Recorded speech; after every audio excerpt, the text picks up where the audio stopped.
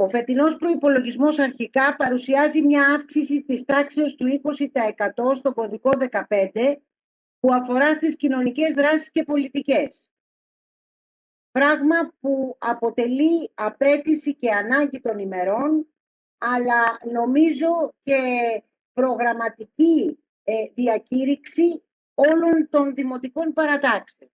Είναι πολύ σημαντικό, ιδιαίτερα στην εποχή μας που βγαίνουμε από τη δύσκολη περίοδο της πανδημίας, αυτή η αύξηση του κωδικού 15 που αφορά σε όλες τις δράσεις τις κοινωνικές και τις δράσεις παιδείας. Επίσης παρουσιάζεται μια σημαντική αύξηση στα έργα επενδύσεων που πλέον έχουν οριμάσει και πολλά έχουν κατατεθεί, άρα μπορούν να ενταχθούν και στον προϋπολογισμό. Είναι πολύ σημαντικό γιατί θεωρώ ότι είναι η πρώτη φορά που ο Δήμος μας μπορεί και απορροφά κονδύλια ε, είτε από Υπουργεία είτε και από την Ευρωπαϊκή Ένωση. Ιδιαίτερα σημαντικό αυτή η εξωστρέφεια και μάλιστα όχι σε επίπεδο προγράμματος και διακηρύξεων όπως ήδη υπήρχαν στο περσινό προϋπολογισμό, αλλά καταγραφής γιατί πλέον βρισκόμαστε σε μια όριμη περίοδο.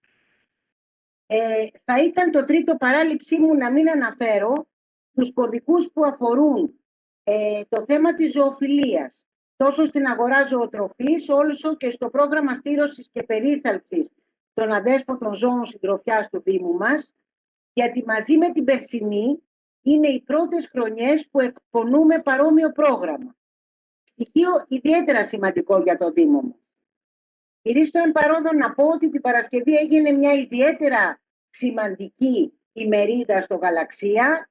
Ε, δεν παρευρέθηκε κανένας από την αντιπολίτευση παρόλο όλο αυτό το μεγαλόπνο φιλοζωικό έτσι, πρόγραμμα που διακηρύτεται κατά καιρούς.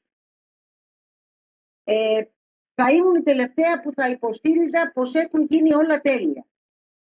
Σε πολλά έργα υπήρξαν παλινδρομήσεις, καθυστερήσεις, είτε λόγω γραφειοκρατίας, είτε λόγω μη έγκαιρης και αποτελεσματικής παρέμβασης των υπηρεσιών του Δήμου και της ίδιας της Δημοτικής Αρχής θα μπορούσα να πω.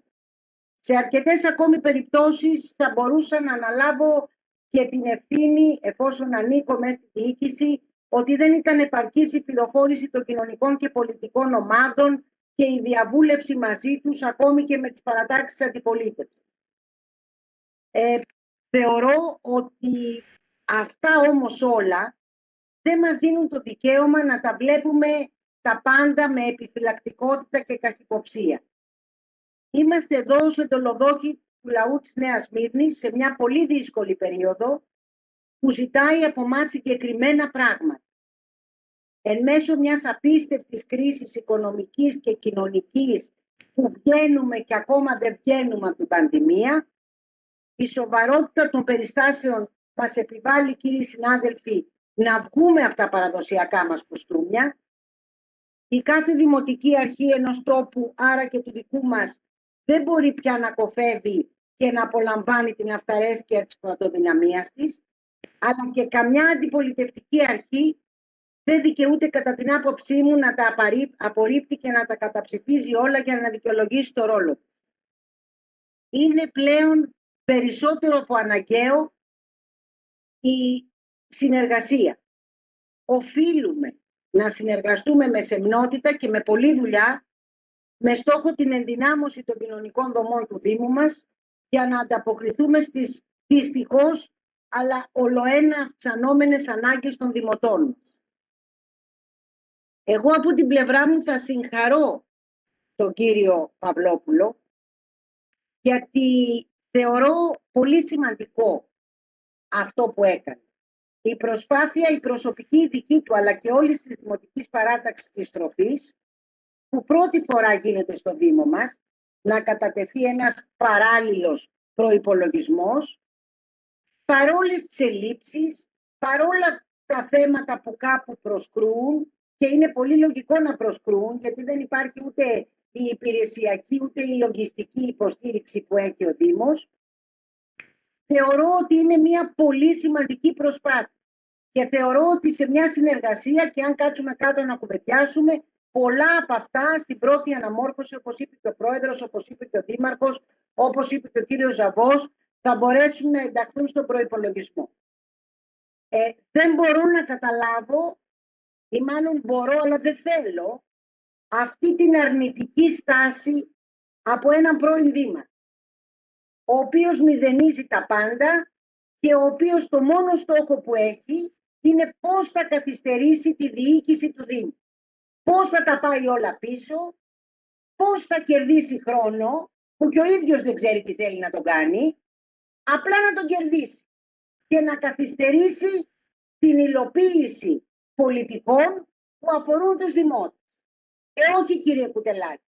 Αυτή είναι καταστροφική η πολιτική.